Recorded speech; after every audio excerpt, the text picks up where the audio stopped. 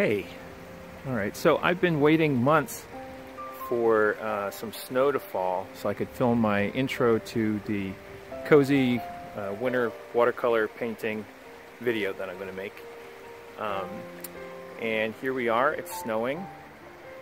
So I just wanted to get a little bit of footage of this for some inspiration and um, then we're going to head into the studio and paint our scene. I think in the scene I'm going to include a little cabin.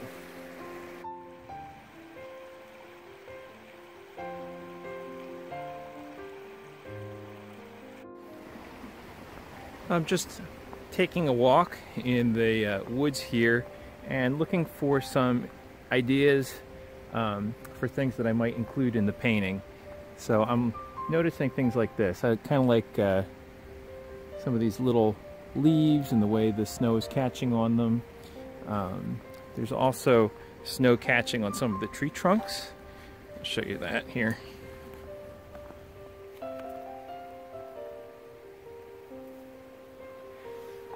So I don't know how much of all of that will make it into the painting, but it is nice to do something like this before starting, uh, just to get some ideas.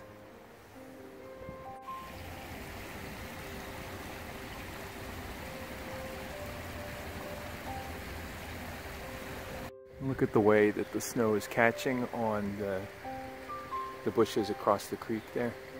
That looks kind of neat. Sometimes I feel actually a little guilty about walking on the newly fallen snow because it just looks so nice before it's got footprints stuck in it.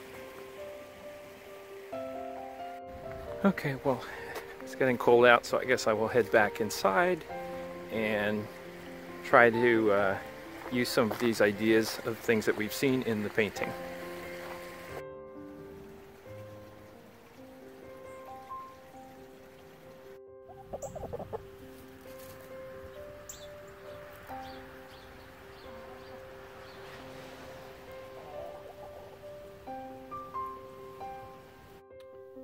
All right, we're back in the studio and here's an overview of the materials that we're going to use today. So you can use some masking tape, that's optional if you want to give your picture a nice border like this. You're going to need a pencil and an eraser. We're going to use a black fine uh, tip pen, a white Gelly Roll pen like this, or we might use this um, white Sharpie marker instead. Paper, some water, ultramarine blue, and cadmium yellow watercolors and a synthetic watercolor brush like this, paper towel, and a palette. So after filming my daytime snow um, inspirational footage, I realized that I really wanted to do more of a cozy nighttime scene like this, so I went back out and I filmed some nighttime snowfall.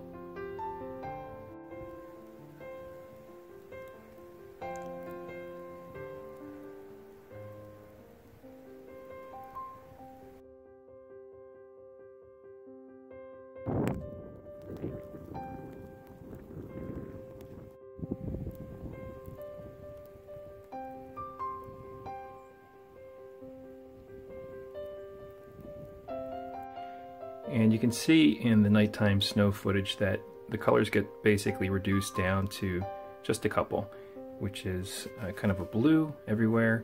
And then when there's sources of incandescent light, we're going to need a warm color like a yellow. And then some places we're going to have white like these stars up here. By the way, this is cadmium yellow hue. It's not true cadmium. True cadmium is toxic, so the, one marked hue is actually a little bit safer. So I'm gonna squeeze out some blue here.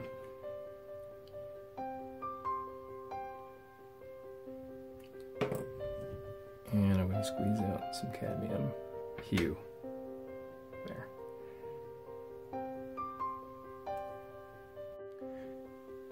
Something that's important to know about watercolors is that they are transparent. So unlike a latex paint or an acrylic paint, um, you can't paint a lighter watercolor on top of a darker one and expect it to show up because it is transparent. So let me show you what I mean. If I paint yellow across this blue stripe here, uh, I won't get yellow. Can see there, you can still see the blue through the transparent yellow stripe. So for situations like this, where we want to have these bright yellow windows, what we have to do is actually leave the paper white in those spots. We can't go back and paint yellow on top of a dark blue and expect it to show up. Uh, let's see what happens if we paint the blue on top of the yellow stripe.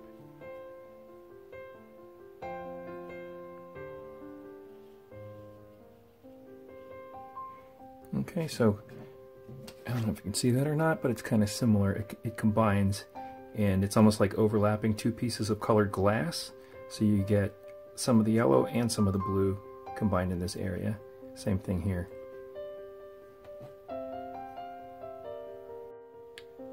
Because watercolors are transparent, you can always make your painting get darker, but you can't really make your painting get lighter because as I said, putting a lighter color on top of a darker one uh, just combines the two. It doesn't actually get any lighter.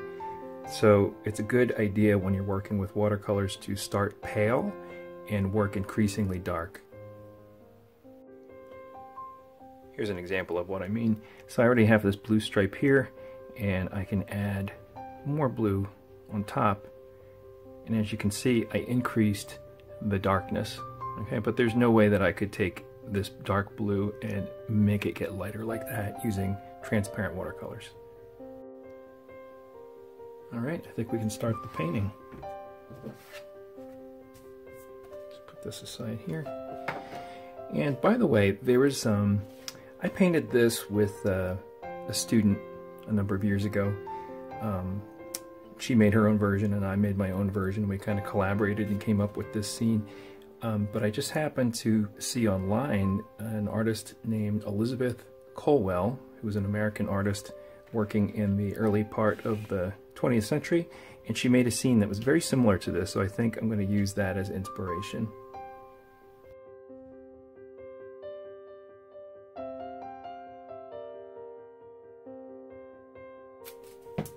Like I said, this is optional, but you can use masking tape around the edge to give it a nice border like this one has.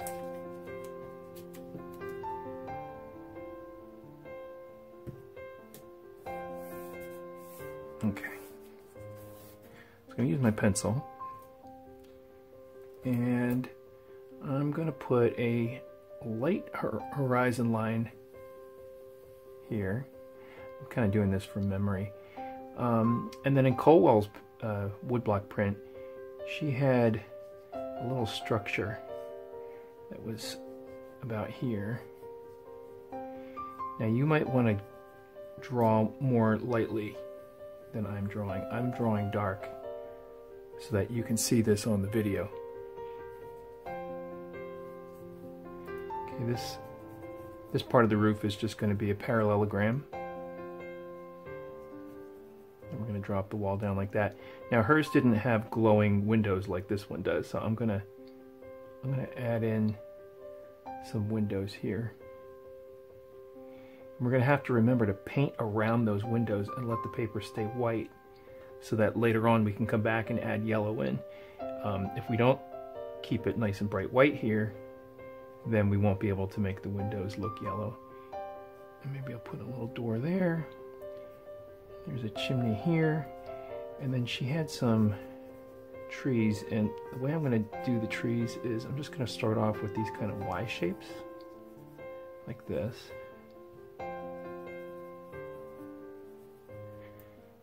and then we're going to add on to that later.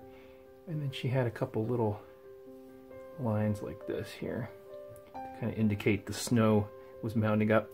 I think the moon was over here. The moon is big enough that we can paint around it when we do the sky. These smaller dots like this, we're going to do a little bit of a cheat.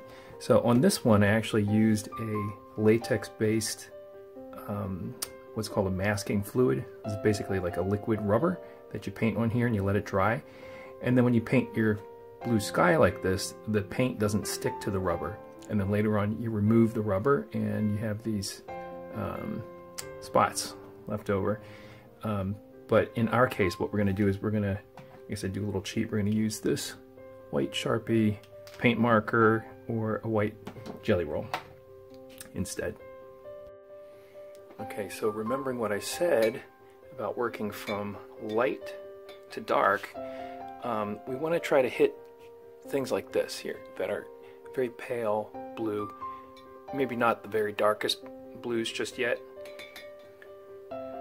Just going to come in here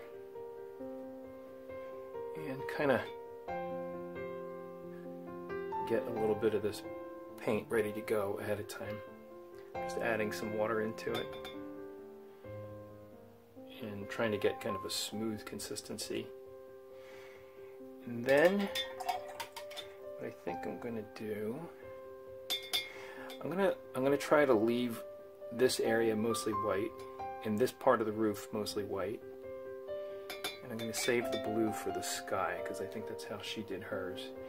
Um, a little trick we can do, which is called laying a wash. So I'm going to come in here and I'm going to make all of this sky area damp with clear water. And maybe you can't see that on the video, but that's what I'm doing. Now I'm having to move my head around a little bit so that I can see the reflection of the water in my lamp to make sure that the paper is actually wet. I'm going to paint carefully around the moon.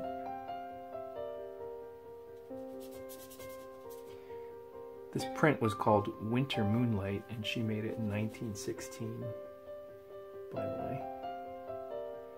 The reason we're laying a wash is because this will help us do what's called a wet on wet method or a wet into wet method where the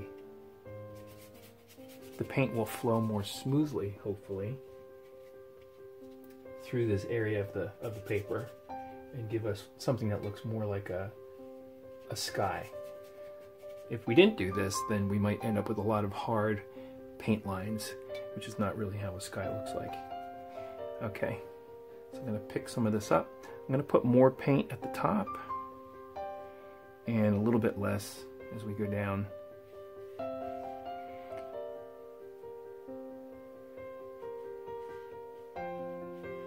You can see how the paint is spreading through this. Now I have to be careful when I get to the moon here because I don't want to I don't want to paint over that and lose the white paper there. Remember in watercolor the whitest white is the paper itself, not white paint. Although when we do our stars, we're going to cheat a little bit and use some white paint.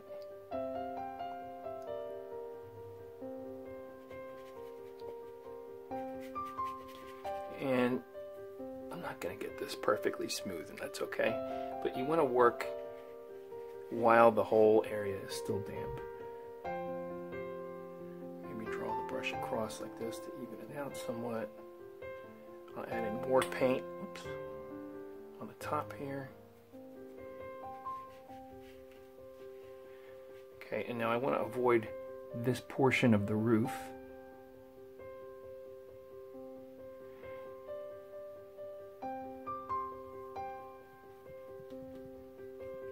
Can see my wash is drying out a little bit. Now I want it to be light at the bottom. So I'm just going to come in with some clear water and kind of spread across what I have already. Avoiding that roof.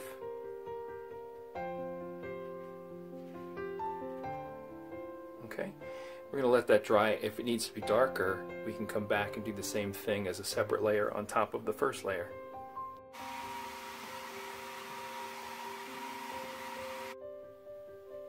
Think I want it to be darker than that.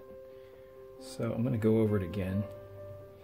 And instead of laying a clear wash first, I'm going to just see if I can do it straight away um, by always keeping the leading edge of this wet. I don't want to have any part of this dry out until I'm finished because if it dries out I'm gonna I'm gonna get a hard edge and I don't want that.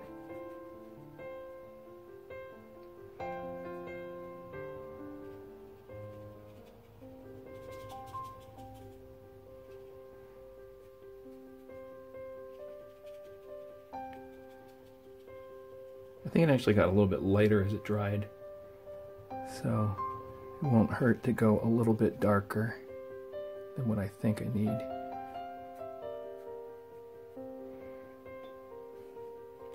This is plenty wet.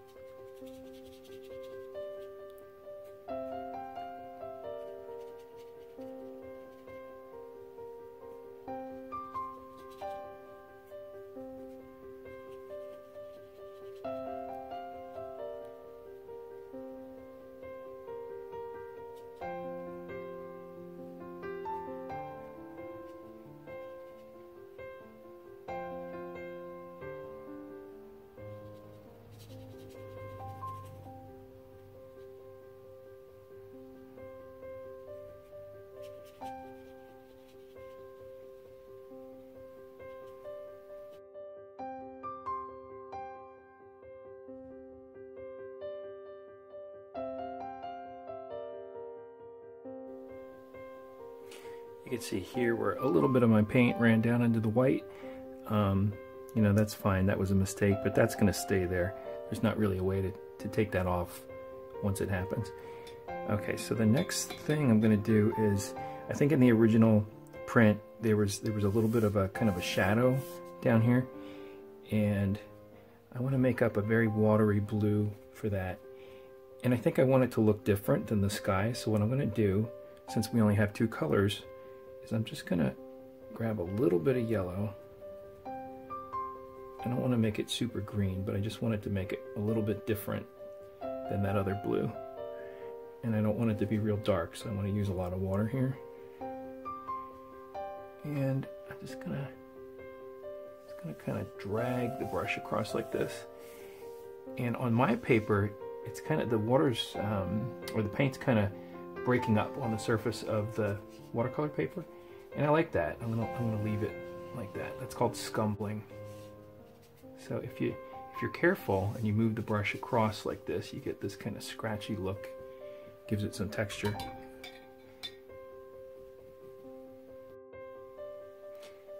Okay, now let's work carefully on the house.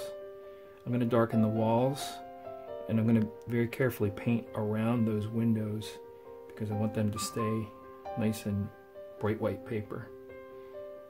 I want to make the walls, I think, darker than the sky.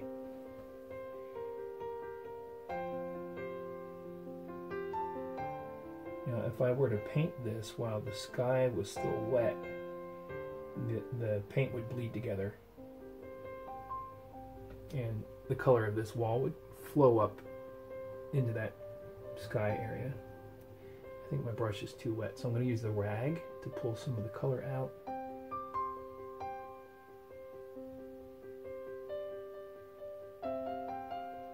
Very carefully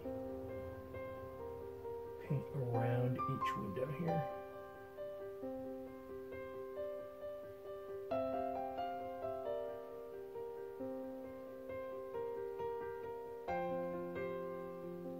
Can just do this underneath part with one brush stroke and I can do the above part that way too.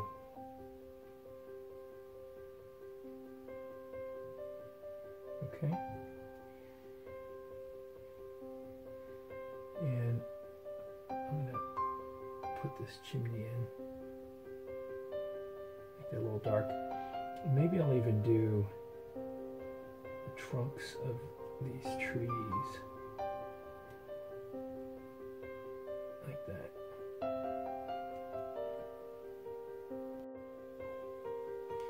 I noticed that my shadow down here mostly disappeared, so I'm gonna do it again. Go a little darker this time.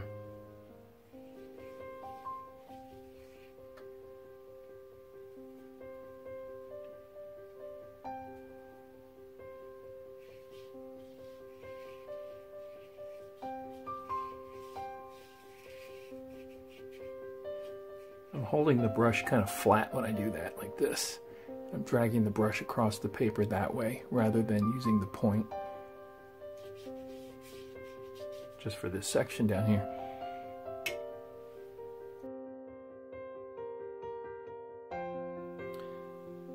Now we can go in and we can use um, this fine black pen. You can use a Micron fine tip Sharpie. This one's called a Copic multiliner and we're going to add in some details. I think I'm going to start with the tree. So I'm, I painted the trunks with a little bit of blue and what I'm going to do is I'm going to put a, a black line on either side of, of the blue trunk and then maybe I'll kind of scribble in between a little bit, some dots, some little dashes to give it a little bit of texture and I'm going to get this main kind of uh, skeleton of the tree drawn out like this. Like a, could be like a Y shape, or maybe you could fork a couple times like this. Okay, and then what we're going to do is we're going to go up and up. And we're going to add branches, kind of reach like this to each tree. And then off of these branches, we're going to add some smaller ones like this on both sides.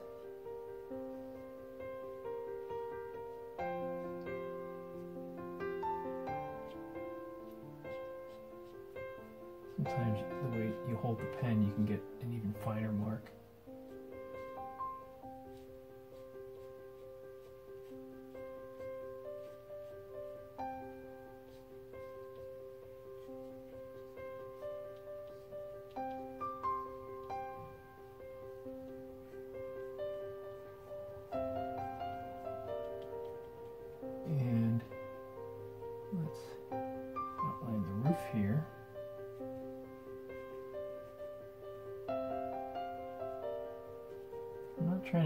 This these lines real perfectly straight. I want to make them be a little bit kind of broken up and a little wiggly to give it kind of an organic feel to it. And go around the chimney here. And I think what I'm going to do is I'm going to darken the house even more by putting some parallel lines, some hatching that goes down through here. There's a door here. So I'm going to outline that door.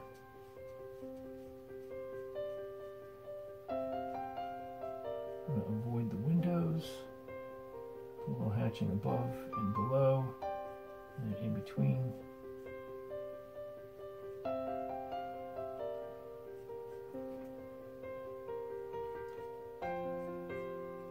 This should give some nice contrast and really make it look like there's a light inside. Okay, now in the one in the print by Elizabeth Colwell, um, this horizon line's not perfectly straight. It's, it kind of goes up and down a little bit like a hill, so that's what I'm going to do here. Go up like this, and down. up again like this. Up. Up, and then she's got some little kind of smaller bushes and like a little kind of a baby tree over here. And then there's a split rail fence, which she does by putting, looks like two parallel lines and then a post. So two rails and then a post Two rails and there's a post back there. Two rails and a post. And then the fence continues over here. This. And it kind of goes down like that. And then these lines uh, in the hill that we put in earlier, we put them in. Like I said, I'm trying not to be too, you know, precious and careful about this. I want this to have kind of or an organic feel to it. All right. Of course, you can, you know, put variations and do this however you imagine it. It doesn't have to be just like this one.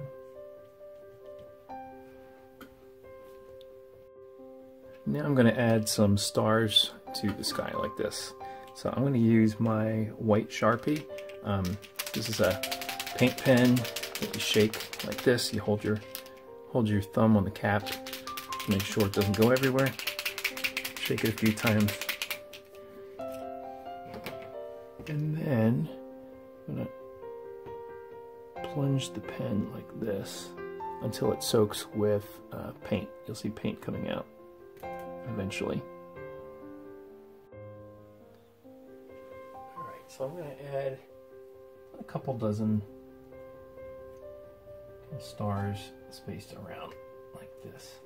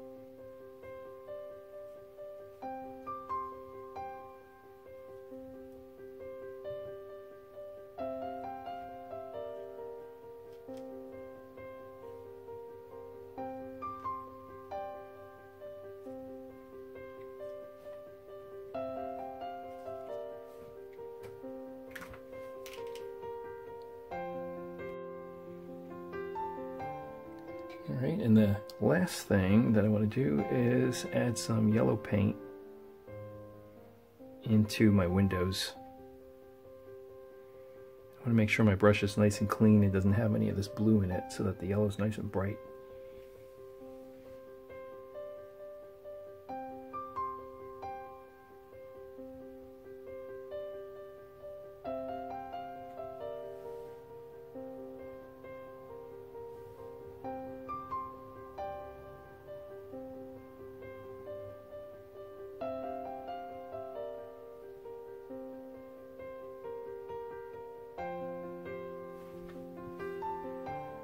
Okay, there you have it.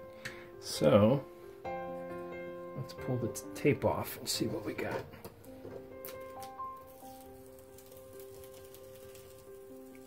When you pull the tape off, um, pull the tape away from the painting. You don't want to pull the tape toward the painting just in case it rips the paper. And you want to pull it slowly and carefully away.